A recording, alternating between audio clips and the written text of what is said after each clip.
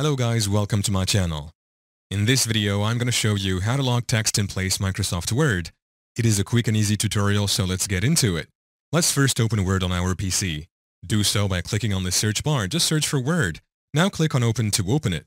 Once in, you will see this default home page. Go ahead and open the file with the text that you would like to lock in place. You will now be brought in here. Right here at the top, we have these numerous tabs. Go ahead and tap on an option written Review right here.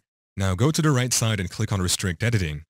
This is the place we can now lock our text. You can give any of these restrictions or even give all of them. The first one written, formatting restriction, is the first thing we will check on. As you can see, it's written that it limits formatting to a selection of styles. Just turn it on. Go ahead and also turn editing restrictions on. We have everyone right here. Turn it on so that it will lock it for everyone. We also have start enforcement right here. Click on it. Once done with setting all these on, one text will now be locked. That's how to lock text in place in Microsoft Word. Thank you for watching. If this video was helpful, please leave a like and subscribe to my channel for more videos like this, and click on that notification bell to never miss an update.